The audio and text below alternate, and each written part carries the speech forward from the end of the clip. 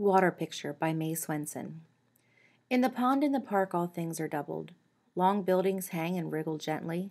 Chimneys are bent legs bouncing on clouds below. A flag wags like a fishhook down there in the sky. The arched stone bridge is an eye with underlid in the water.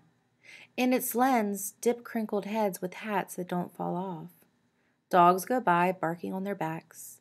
A baby taken to feed the ducks dangles upside down a pink balloon for a buoy.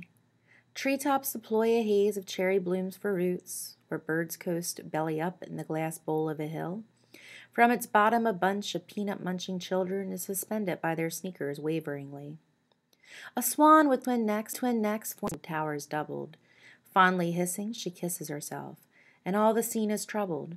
Water windows splinter, tree limbs tangle, the bridge folds like a fan.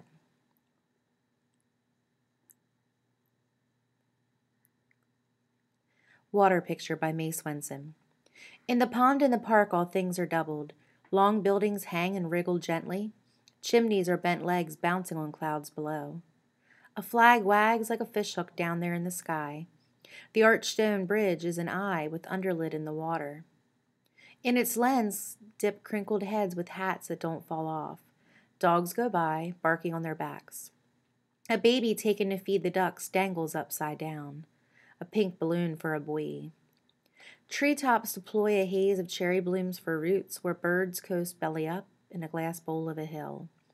From its bottom, a bunch of peanut munching children is suspended by their sneakers waveringly. A swan with twin necks forming the figure three steers between two dimpled towers doubled. Fondly hissing, she kisses herself, and all the scene is troubled. Water windows splinter, tree limbs tangle, the bridge folds like a fan.